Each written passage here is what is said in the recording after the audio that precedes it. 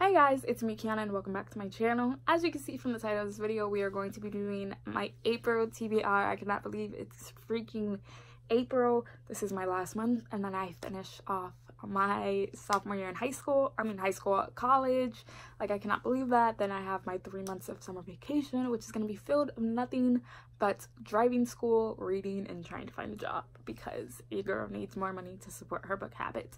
But anyways, I have about one, two, three, four, five books I definitely want to get to this month. I'm going to be finishing off a trilogy, finishing off a duology, starting the trilogy, and then starting two trilogies, and then hopefully finishing out a series. So let's go ahead and get started with this video.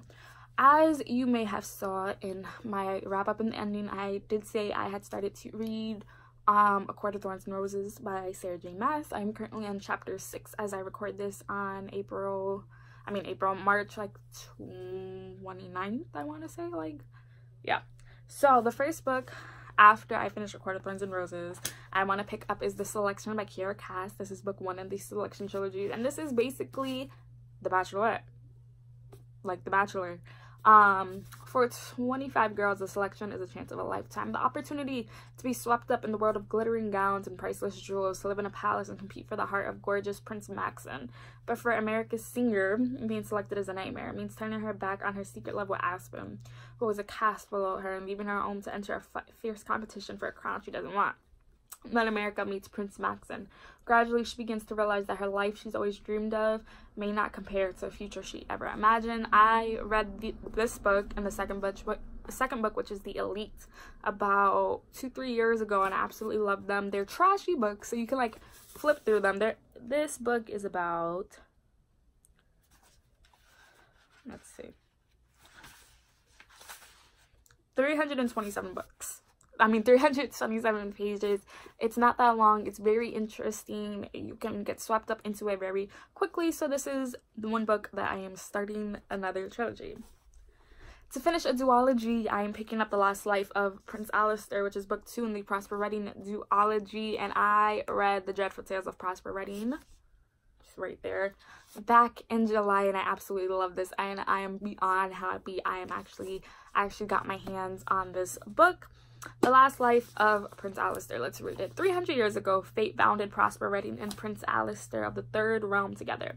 Now the human boy and the fiend heir to the demon kingdom must push aside a century-old blood feud to save everything they love. Alastor will guide Prosper through the demon realm under one condition.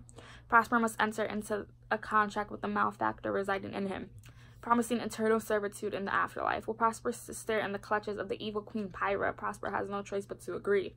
But when they arrive in Alastor's delicious demonic home, the realm is almost an alien to Alastor as it is to Prosper.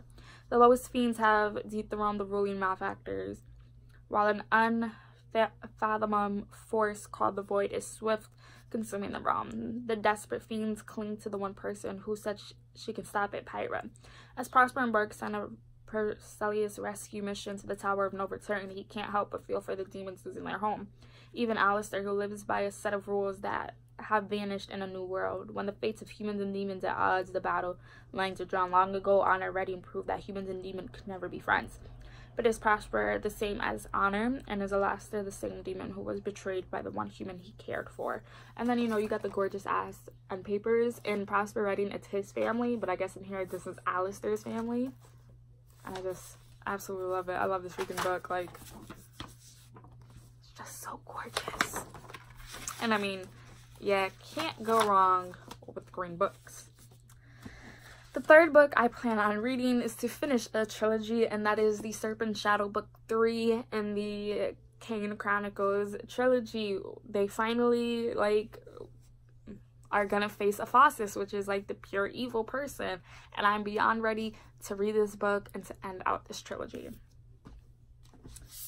I then pick up, I'm then going to pick up A Darker Shade of Magic by V.E. Schwab. I read this in August, but I wasn't fully interested into it. Now I own the second and the third book, so I can move on with this trilogy. This is the exclusive collector's edition. That you got the little tassels. This is black.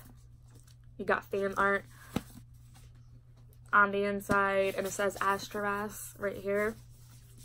A Darker Shade of Magic is this world that there's four Londons. Red London, White London, Grey London, and Black London. And so many years ago, all four Londons were connected. You could walk through them freely. But then Black London got consumed with magic and they ended up burying the doors to everything. And only certain people can travel to each London, but except Black London because it is, you know, crossed off. They got too powerful. They wanted, they got too hungry. And it's a guy named Cal. He's, it's called, they're called an Antari, which, you know, magically are rare. And you know, they have the ability to travel between parallel Londons and act as ambassadors and messengers between Londons. Yeah, I remember when I first read this, I was like really, really interested in it. I was like upset when I had to put it down, but hopefully I can be more invested in it so I can want to continue on with the second and the third book because I do own them, like right there, and I'll be pissed if I wasted money and like never picked up the books. But anyways. And then the fifth and final book, oh, this freaking big bad boy. I plan on reading Kingdom of Ash by Sarah J. Maas. And call me crazy. Call me crazy. But I think I can read like half of this this month and then finish off in like May or something. Because this book is almost a thousand pages, right? Like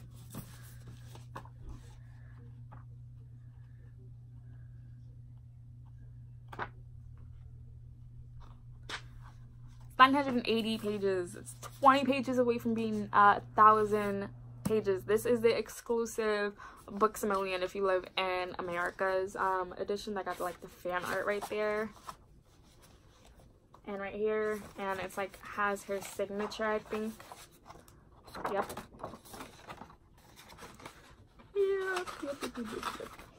But I'm beyond excited to read, at least start this book. But those are the books I plan on reading in April. Comment down below if you would like to do buddy reads with me. I will be leaving here two videos. Honestly, feel you guys should go check out. Don't forget I post Mondays and Thursdays. Do not forget to like, comment, and subscribe. Click that little bell so you know when I post. And I'll be seeing you guys soon with my book haul. Bye guys.